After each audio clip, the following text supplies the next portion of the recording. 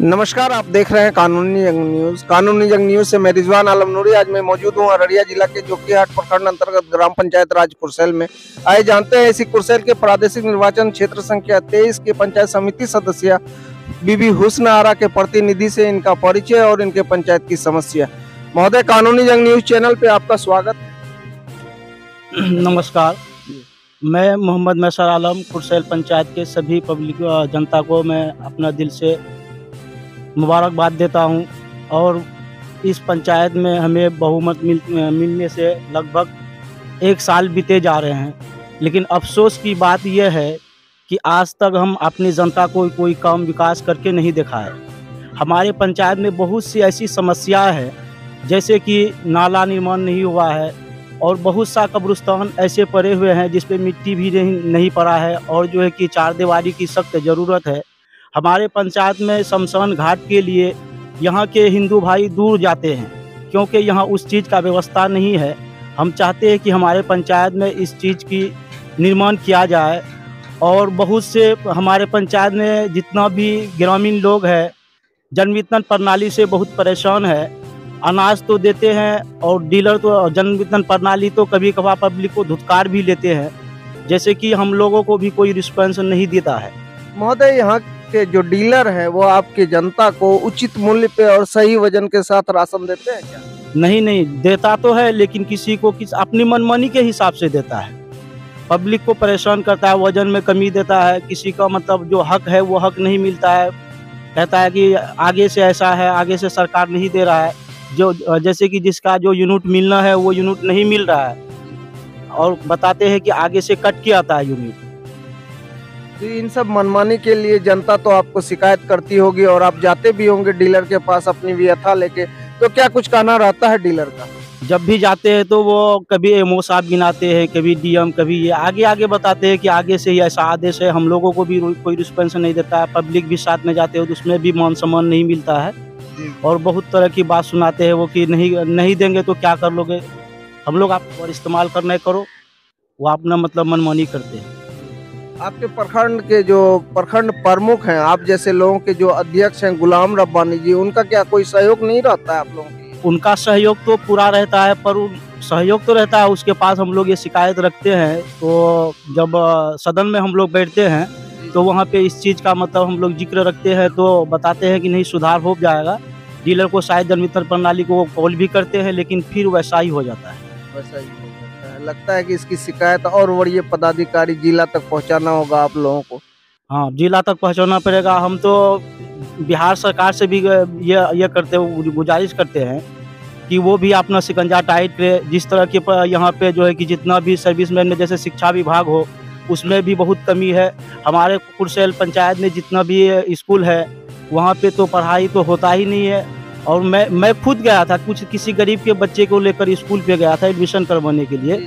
मुझे खुद रिस्पांस नहीं दिया गया कि सीट फुल है। जब अगर सीट फुल है क्षेत्र की इस क्षेत्र की बच्चा है अगर दूसरे क्षेत्र में उसका तो एडमिशन होगा नहीं।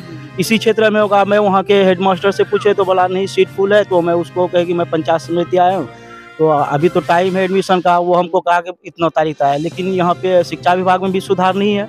बहुत तरह का कमी है शिक्षा विभाग में। स्कूल कभी गए होंगे आप निरीक्षण के क्रम में? तो क्या यहाँ के बच्चों को मध्याह्न भोजन मिलता है? मध्य भोजन मध्याह्न भोजन तो बहुत कम मिलता है। किसी किसी स्कूल में कुछ मतलब जैसे मान के चलिए हंड्रेड परसेंट में मुश्किल से किसी पर पच्चीस तीस परसेंट जैसे ही किसी किसी स्कूल में मिलता है। नहीं तो यहाँ पे अपना मनमानी करता वो यानी मध्याह्न भोजन को खाओ पकाओ का सिस्टम बना दिया हाँ। है यहाँ के प्रधान अध्यापक और भी अन्य शिक्षक मिलकर हाँ सब लोग मिल करके वो अपना खाओ पकाओ कर रहे हैं। और जो है कि यहाँ पे कोई मतलब बीच में बहुत तरह का हम लोग यहाँ के पंचायत जो पंचायत के जो मुखिया है वो भी गए थे हम लोग भी गए लेकिन कोई रिस्पॉन्स नहीं दे रहा है। उन लोग मतलब हेडमास्टर भी अपना मनमानी कर रहा है। यहाँ के जनता भी परेशान है जैसे मान के चलिए विधवा पेंशन हो गया विकलांग वृद्धा पेंशन हो गया ये सब में पब्लिक लोग बहुत परेशान है। और बहुत से लोगों को तो मतलब अस्सी पचासी साल सौ साल पूर्णे वाले उन लोगों को अभी तक नहीं मिल रहा है।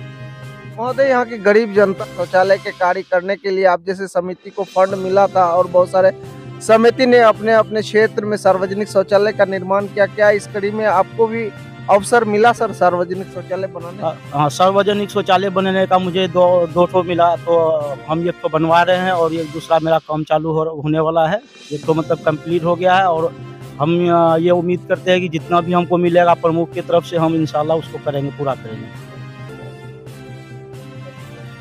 और क्या कुछ समस्या दिख रहा है? आप जैसे जनप्रतिनिधि को महोदय इस कुरसेल पंचायत में। समस्या तो बहुत से है जैसे मान के चलिए मनरेगा के तहत कोई भी काम मतलब जो है कि जैसे प्रखंड से जिला लेवल से पास होता है पंचायत समिति पास करवाता है। उस काम को करने के लिए भी गए वहाँ पे बाधा डालता है कोई मतलब बताता है कि हम बड़े मंत्र, तक मेरा पहुँच है। यहाँ के मतलब जितना भी आगे डीएम ये सब वो लोग रिस्पॉन्स नहीं लेता है ताकि यहाँ पे ये भी डीडीसी साहब भी आए थे और क्या कहते हैं एमपी साहब भी आए थे लेकिन वो भी कह के गए कि पंचायत समिति दोबारा किया जाएगा इसका मतलब एस्टिमेट बना हुआ है लेकिन वो उस वार्ड पे हम जब काम करने के लिए गए वहाँ के ग्रामीण लोग तो हमारे सहयोग है। लेकिन कुछ बिचौलिया लोग हमें परेशान कर रहे हैं बहुत तरह का दिक्कत होगा धीरे धीरे उन बिचौलिया के मुँह पे भी ऐसा तमाचा लगेगा कि वो आपके रास्ते से खुद साइड हो जाएँगे सर। वहाँ की जनता साथ है ना आपके? हाँ जनता तो हमें हमारे साथ है इनशाला हम उस बिचौलिया को मुँह तोड़ जवाब देंगे। बहुत जल्द हम चिरान भी करवाएँगे जो भी हमारे विकास मनरेगा के तहत है हर चीज़ करवाएँगे। और मैं तो ये भी कहता हूँ प्रमुख साहब अगर हमें पक्कीकरण भी दे तो इंशाल्लाह ईमानदारी से हमारे पंचायत में हम पक्कीकरण का विकास करवाएँगे।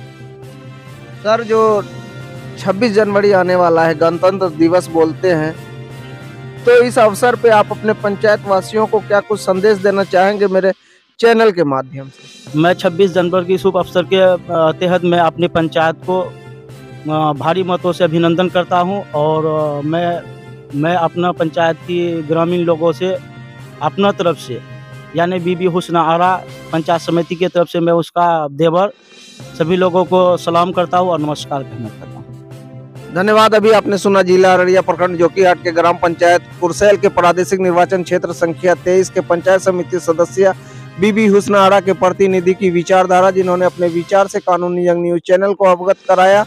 देखते रहे